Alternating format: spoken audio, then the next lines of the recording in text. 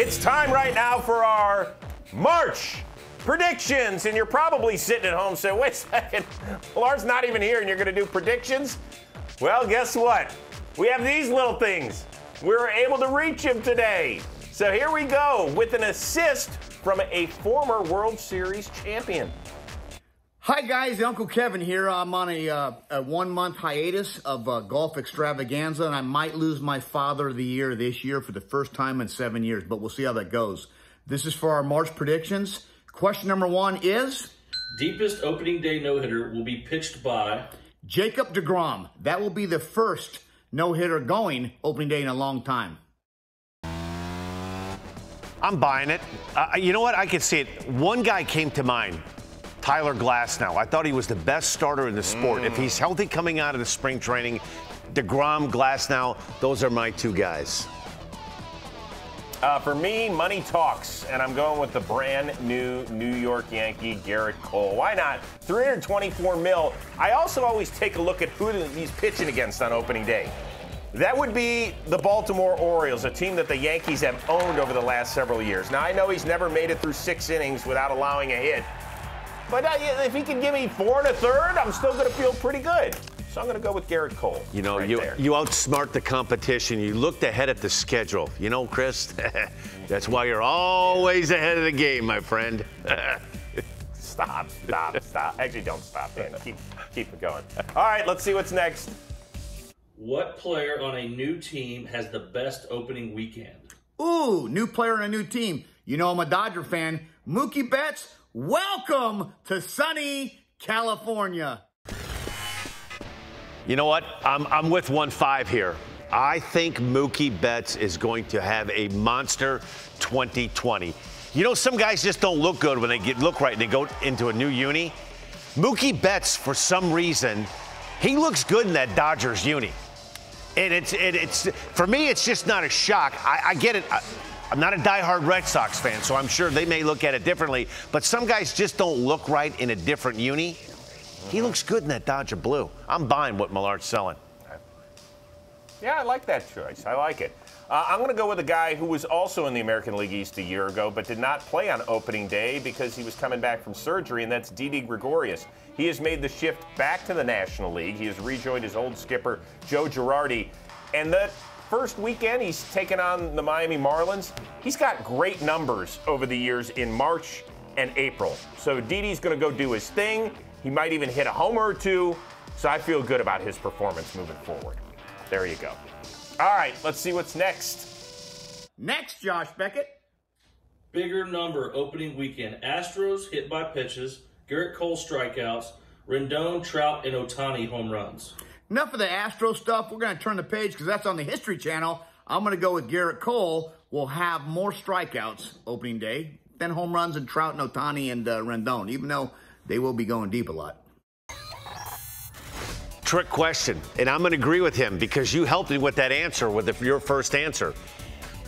Baltimore Orioles. The Orioles are going to struggle in 2020. And I think if you're Gerrit Cole, you're Brian Cashman, you're the Yankee faithful, it looks like on paper you couldn't ask for a better matchup for his debut wearing the pinstripes. Now, with that said, I know you have to play the games, but if you're looking at it, Gerrit Cole against a team that looks like they're going to struggle, I think I'm, I'm, I'm with 1 5. And I think, and I'm really certain that he's going to hang on and win this one. I do.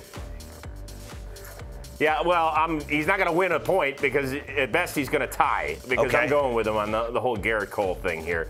In his last 65 starts, he struck out at least seven batters 56 times.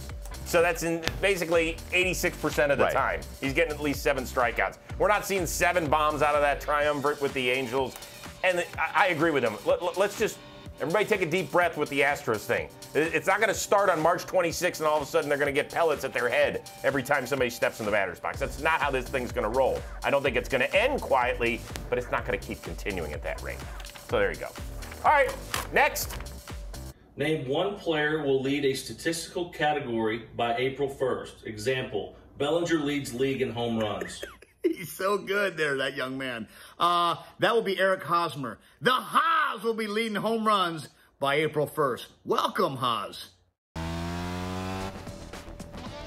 You know, I, I like that, but I'm going to tell you a guy that I'm, I'm sneaky, I'm bullish on again. Kris Bryant of the Cubs. I think Bryant is going to get off hmm. to a hmm. good start. He had kind of a crazy offseason, not sure how that ruling was going to go. He had two years left of control by the Cubs. I think Kris Bryant is healthy. I think he's happy, and I think he's going to get off to a flying start for the Northsiders. By the way, kudos to Josh Beckett, who read the example that we sent him. Good job there, Beckett. That's good. Good work on your part. For me, I'm going to go with uh, Rafael Devers. Last year, he had a 71 point batting average increase ended up hitting 311 for the year. So I think he's actually going to lead the American League in hitting after like six games or whatever we will have played by April 1st. The guy can hit. He can also hit left-handed pitching. He's not like a 190 hitter against left-handed pitching, and he's going to be seeing Ryu probably on opening day or certainly in that first series. But they're going to take care of Toronto and Baltimore in the first few series of the year. So I think he's going to continue to mash. I like it. He's kind of really turned the corner and made himself an all-star ball player. All right, last March prediction. What is it? What player or coach alma mater will advance to the Final Four? Ooh, sic 'em Bears. Baylor Bears been hot all year this year. And you know who went to Baylor? That's right, Max Muncy from your Dodgers. So there you have it. Predictions, winning. That's what we do here on the Golf Extravaganza. Rose and Plesac. I'll see you guys in May. There's none like him. You know what I'm buying? Big win for Baylor last night. Baylor's a good team. They ran into that one roadblock, Kansas. Ran into a good Kansas team about a week ago. Mm. I'm with them. Max Muncy, I'm buying Baylor. Give me Baylor. All right. The last time I paid attention to Dayton Flyer basketball, I think was 1984 when Roosevelt Chapman was lighting up the tournament and making the run all the way to the Western Regional Final where they lost to the eventual national champion Georgetown Hoyas with Patrick Ewing and Michael Graham and David Wingate and Reggie Williams and all those guys.